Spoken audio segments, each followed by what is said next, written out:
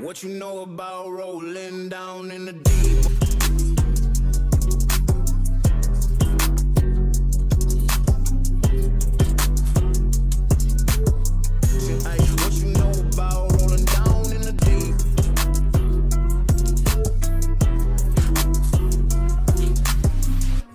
Please pause for a moment of silent reflection.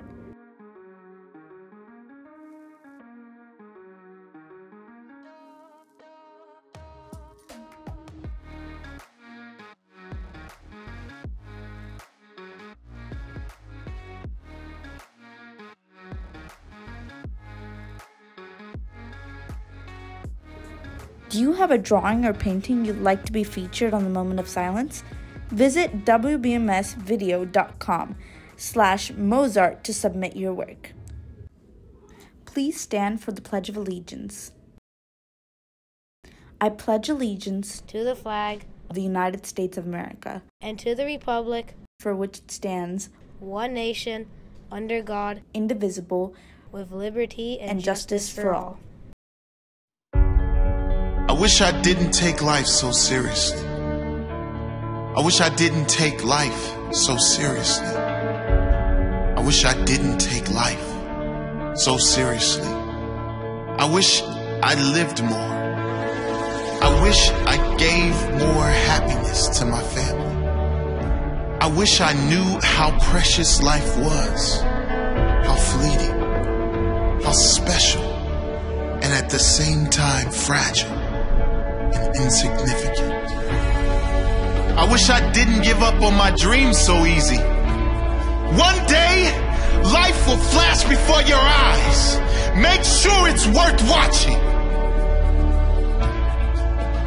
When we look back on our life, in our last breaths, we will all wonder Did my life mean anything? Did my life mean anything to this world? Was I loved?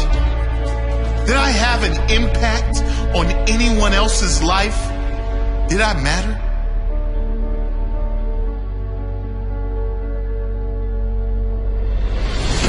We won't be worried about our bills. We won't be worried about our hair. We certainly won't care about our favorite TV show. We won't spare a second thought of others' opinions and judgments. Did I matter?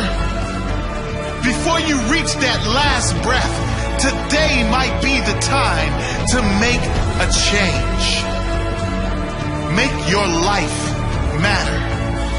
One day, it will be over. There will be two dates, either side of a dash. Make sure that dash is not empty. Make sure it is full of life, full of living. Oscar Wilde once said, To live is the rarest thing in the world. Most people exist. That is all. And he was right. Don't live like everyone else. Existing. Be extraordinary. Live every moment with passion and wonder. Don't take anything or anyone for granted. What is important to you? What dreams do you have? Go get them. What are you waiting for? You only have one shot. If you miss the target, at least you will live with pride, knowing you have no regrets. Who do you love? Who has loved you? Tell them. Tell them now. You never know when it will be your last chance. Don't take this magical thing called life for granted. Keep your head when everyone else is losing theirs. Trust yourself when everyone else doubts you. Master your dreams when all others give up on theirs. Be the captain when everyone else is content being the crew. Be the lion when all others are playing sheep. Be the leader when all others are following. Live each day as if it may be your last on earth. It may be.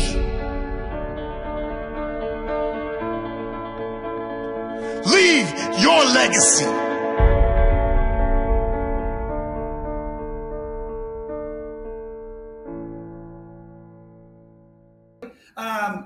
Coach Wayne. I am here as a representative of the Irish Heritage Committee. And I'm uh, Dr. Disraeli.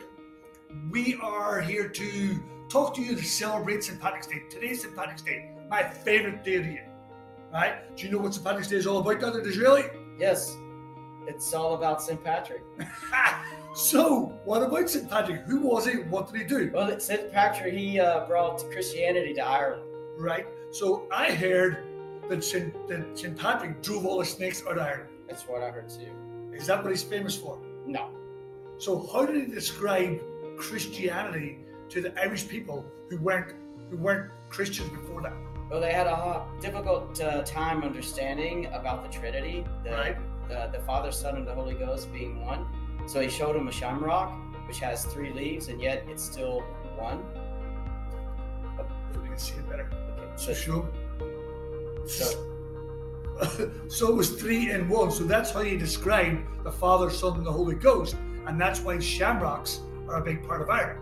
Um, so what's your? I, I'm Irish. So what's your Irish heritage, Doctor? Is Disraeli? Well, on my mother's side, uh, they're, they uh, are from County Antrim, and they immigrated to the uh, to the New World, to, uh, to the Americas in the uh, 1700s. So Antrim isn't far from where I'm from.